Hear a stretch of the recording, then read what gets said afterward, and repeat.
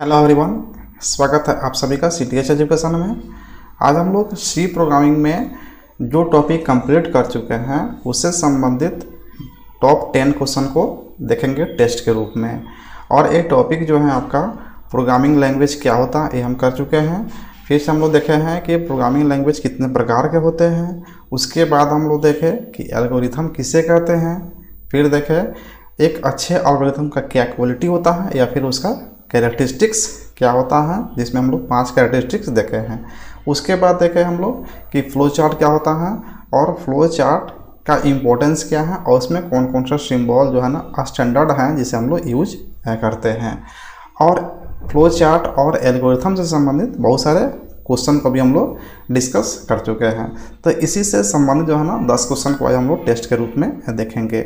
और computer science third semester के छात्रों के लिए ऑनलाइन कोचिंग स्टार्ट है और ये पच्चीस जुलाई से ही चल रहा है, जिसमें आगे हम लोग बहुत निकल चुके हैं। यदि इनमें से कोई भी इंटरेस्टेड हैं तो आप ज्वाइन कर सकते हैं। ज्वाइन करने के लिए आपके स्क्रीन पर नंबर दिख रहा है mobile number eight zero eight four three seven zero four seven zero तो इस पर आप कॉल करके या व्हाट्सएप करके ज्वाइन होने का प्रोसेस जान सकते हैं।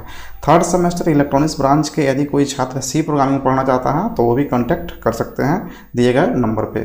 तो ये शुरू करते हैं क्वेश्चन नंबर फ़र्स्ट से। क्वेश्चन नंबर फ़र्स्ट है एनी प्रोग्राम इज़ एन कोई भी प्रोग्राम होता है, वो क्या होता है? क्या प्रोसेस होता है? या प्रोसीड्योर होता है, या एल्गोरिथम होता है? या फिर इनमें से कोई नहीं। तो कोई भी जो प्रोग्राम होता है, वो किसी भी प्रॉब्लम के सॉल्यूशन का जो स्टेप बाय स्टेप सॉल्यूशन होता है या प्रोसीड्योर होता है, ठीक है ना? तो किसका स्टेप बाय स्टेप और जहाँ स्टेप बाय स्टेप की बात आती है तो हम लोग क्या करते हैं? एल्गोरिथम को देखते हैं। इसका प्रीवियस वीडियो में हम लोग देख चुके हैं ऑनलाइन क्लास में भी देख चुके हैं। यदि आप को कोई दिक्कत है या नहीं देखे हैं तो डिस्क्रिप्शन में लिंक दिया जा रहा है, उस वीडियो का आप देख सकते हैं। तो कोई भी प्रोग्राम जो होता है ना, वो एल्गोरिथम होता है। Every program is an algorithm but vice versa is not true क्या है कि इसका उल्टा जो है ना ट्रू नहीं है, ये फॉल्स है। सभी प्रोग्राम एल्गोरिथम होते हैं, लेकिन सभी एल्गोरिथम प्रोग्राम नहीं होते हैं। ये ध्यान रखेंगे कि सभी एल्गोरिथम प्रोग्राम नहीं होते हैं, लेकिन सभी प्रोग्राम एल्गोरिथम होते हैं। तो इसका राइट आंसर हो जाएगा C C is the right answer next question हम देखते हैं क्वेश्चन नंबर दो यहाँ पे ब्लैंक स्पेस में आपको फिल करना है. Is step by step method to solve a problem किसी भी प्रॉब्लम के सोल्व करने के मेथड के स्टेप बाय स्टेप रिप्रेजेंटेशन को क्या कहते हैं? तो ये तो डिफिनीशन है किसका? एल्गोरिथम का, हम लोग देख चुके हैं. तो algorithm is the step by step method to solve a problem तो इसका राइट आंसर क्या हो जाएगा? बी हो जाएगा. नेक्स्ट क्वेश्चन है. Question number three C language is developed by तो सी लैंग्वेज किसके द्वारा डेवलप किया गया है? आपको ये बताना है। हम लोग देख चुके हैं, जब प्रोग्रामिंग लैंग्वेज देख रहे थे तो 1972 में सी लैंग्वेज को डेवलप किया गया है बेल लेबोरेटरी में।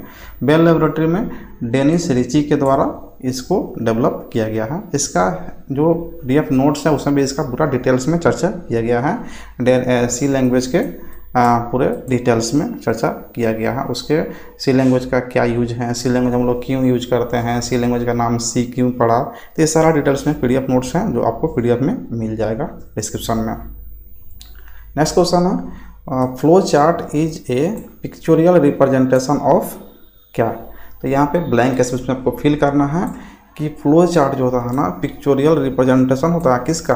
तो pictorial representation of an algorithm ये भी क्या है? फ्लो चार्ट का डिफिनीशन ही है कि एल्गोरिथम का पिक्चोरियल रिप्रेजेंटेशन क्या कहलाता है? फ्लो चार्ट कहलाता है। तो इसका राइट आंसर हो जाएगा बी नेक्स्ट क्वेश्चन है। यहाँ पे ब्लैंक स्पेस फिर यहाँ पे फिल करना आपको। Is a software that convert one language to another language इनमें से कौन सा एक सॉफ्टवेयर है जो एक लैंग्वेज से दूसरे लैंग्वेज में कन्वर्ट करने का काम करता है। देखिए एल्गोरिथम सबसे पहला तो कट जाएगा, ये सॉफ्टवेयर नहीं है। ये क्या है? स्टेप बाय स्टेप प्रोसीड्यूर का रिप्रेजेंटेशन है। फ्लो चार्ट क्या है? एल्गोरिथम का ग्राफिकल या पिक्चोरियल रिप्रेजेंटेशन है तो ये दोनों कट गया। अब ये दोनों जो है ना, दोनों ही हमारा होता है सॉफ्टवेयर अब इसमें कहता है कि कौन सा जो है ना, एक दूसरे से अदर अदर लैंग्वेज में कन्वर्ट करने का काम करता है। तो नाम से ही पता चल रहा है translator translator is a software that convert one language to another language इसको हम लोग देख भी चुके हैं प्रीवियस क्लास में कि ट्रांसलेटर क्या होता है और ट्रांसलेटर तीन तरह के पढ़े थे कंपाइलर इंटरप्रेटर और असेंबलर तो इसका राइट आंसर क्या हो जाएगा? सी ओके तो इसका राइट आंसर हो गया सी नेक्स्ट क्वेश्चन है सी इज़ ए आपको इसमें बताना है कि सी क्या है? हाई लेवल है लैंग्वेज है या मिडिल लेवल लैंग्वेज है या फिर लो लेवल लैंग्वेज है? तो हम कल भी हम लोग इसमें चर्चा किए थे और लगभग मैं एवरीडे जो ऑनलाइन क्लास होता है उसमें हम लोग चर्चा करते हैं कि जो भी अल्फ़ाबेट्स नंबर्स और स्पेशल सिम्बॉल का यूज़ करते हैं just like a English language is a C language C language क्या है? Just like a similar to English language तो जो भी हम लोग समझते हैं ह्यूमन बींग समझता है प्रोग्रामर समझता है, उसे कहते हैं सी लैंग्वेज और हाई लेवल लैंग्वेज और जो मशीन समझता है, उसे कहते हैं ज़ीरो और वन जिसे कहते हैं मशीन लैंग्वेज या लो लेवल लैंग्वेज तो सी क्या है आपका? High level language right answer C C ध्यान में रखेंगे हाई लेवल लैंग्वेज है। नेक्स्ट क्वेश्चन है a language which does not require any translator वैसा लैंग्वेज जिसे किसी भी ट्रांसलेटर की आवश्यकता नहीं पड़ता है। तो वैसा कौन सा लैंग्वेज होता है? तो हम लोग काम क्या करते हैं? कंप्यूटर पे। तो कंप्यूटर क्या समझता है? तो ज़ीरो वन तो वही लैंग्वेज हो सकता है, जिसमें किसी ट्रांसलेटर की उसको आवश्यकता नहीं पड़ता है। मान लीजिए कि यहाँ पे एक पर्सन है, जैसे कि ये है आपका, आपको एक आदमी है यहाँ पे जो फ्रेंच का है, यानी कि फ्रांस का है। यहाँ पे दूसरा आदमी है जो कहाँ का है? इंडिया का है इंडिया का है। अब इसमें क्या है कि जो इंडिया का है, इसको हिंदी आती है और और कोई लैंग्वेज नहीं आती है। और जो फ्रेंच है फ्रांस का, उसको सिर्फ़ फ्रेंच लैंग्वेज आती है। तो क्या यहाँ पे कम्युनिकेशन पॉसिबल है? यहाँ पे कम्युनिकेशन पॉसिबल नहीं है। यहाँ पे क्या होगा? एक गाइडर की आवश्यकता पड़ता है, जो फ्रेंच को कन्वर्ट करके हिंदी में समझा दे इसको, और जो हिंदी को समझा कर कन्वर्ट करके आपको फ्रेंच में समझा दे। तो यहाँ पे एक ट्रांसलेटर की आवश्यकता पड़ता है। लेकिन अगर कोई आदमी है, इसको भी हिंदी आती है, और इसको भी हिंदी आती है तो यहाँ पे किसी ट्रांसलेटर की आवश्यकता नहीं पड़ता है। तो यहाँ पे वही बात है कि जो हमारा लो लेवल लैंग्वेज है, यानी कि ज़ीरो वन लैंग्वेज है, ये मशीन का ही लैंग्वेज है। तो ज़ीरो वन को ही बोला था क्या लो लेवल लैंग्वेज या मशीन लैंग्वेज तो इसको जो है ना, किसी भी ट्रांसलेटर की आवश्यकता नहीं पड़ता है। बाकी सभी लैंग्वेज में जो है ना, आपको ट्रांसलेटर की आवश्यकता पड़ता है, जैसे मिडिल और हाई सब में पड़ता है। तो इसका राइट आंसर क्या हो जाएगा? A A is the right answer next question है mnemonics code is use in which language यहाँ पे एम जो है ना साइलेंट होता है ओके निमेनिक इसलिए पढ़ता है mnemonics code is use use in which language किसमें यूज़ किया जाता है? तो निमेनिक्स क्या क्या होता है? हम लोग पिछले क्लास में देख चुके हैं, जैसे कि एडिशन के लिए हम लोग यूज़ करते हैं एड सब्ट्रैक्शन के लिए यूज़ करते हैं सब मल्टीप्लिकेशन के लिए यानी कि सब के लिए जो है ना, जो कोड हम लोग यूज़ करते हैं, उसे कहते हैं निमेनिक्स कोड और हम लोग प्रीवियस वीडियो में देखे भी थे कि मैक्सिमम फाइव लेटर्स में आप निमेनिक्स कोड को कंबाइन कर सकते हैं।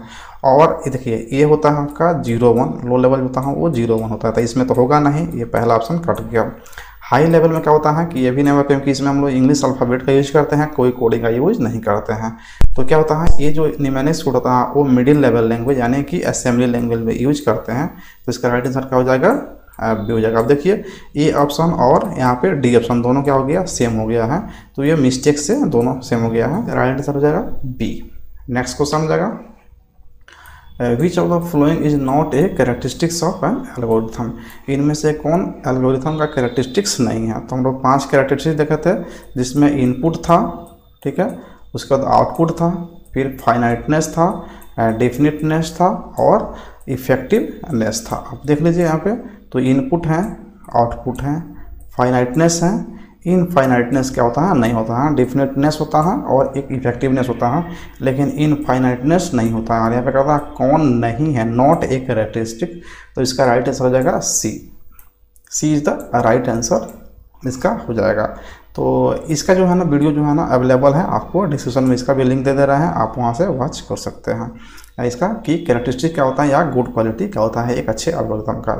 Next question and last question देखते हैं हम लोग कि आंसी का जो है ना फुल फॉर्म क्या होता है? आंसी आंसी स्टैंड फॉर तो हम देखे थे वीडियो में कि A for American N for national S for standard और आई फॉर इंस्टीट्यूट तो अमेरिकन नेशनल स्टैंडर्ड इंस्टीट्यूट हम देखेंगे। देखिए, यहाँ पे अमेरिकन है अमेरिकन है ये अफ्रीकन तो कट जाएगा। और लास्ट क्या पाएगा? नेशनल नेशनल नेशनल नेशनल सब में है। फिर स्टैंडर्ड भी सब में है कोई दिक्कत नहीं है। यहाँ पे है इन्फॉर्मेशन ठीक है ना? तो हमको देखना किसमें है। ये तो, तो कट चुका है सी और डी कट चुका है तो बी और ए में। तो यहाँ पे देखिए इंस्टीट्यूट है यहाँ पे इन्फॉर्मेशन तो इन्फॉर्मेशन क्या होगा? नहीं होगा तो इसका राइट आंसर क्या हो जाएगा? ए तो ये दस क्वेश्चन आपका हो गया। जो अभी तक हम लोग सिलेबस कंप्लीट किए हैं, उससे संबंधित। इसी तरह से जो भी हम लोग टॉपिक पढ़ते जाएँगे उसे जितने भी क्वेश्चन बन सकते हैं इंपॉर्टेंट उसे हम लोग देखेंगे टेस्ट के रूप में। यदि आपको अच्छा लगता है वीडियो तो इसको लाइक करें और सब्सक्राइब करें चैनल को सी टी एजुकेशन को, और अपने दोस्तों को शेयर करें, जिससे उससे भी कुछ लाभ हो सके। और यदि आप इंटरेस्टेड हैं क्लास के लिए तो आप दिए गए नंबर पे व्हाट्सअप करके आप प्रोसेस जान सकते हैं। तो मिलते हैं फिर से नेक्स्ट वीडियो में। तब तक के लिए धन्यवाद। अंत तक वीडियो देखने के लिए। Yeah.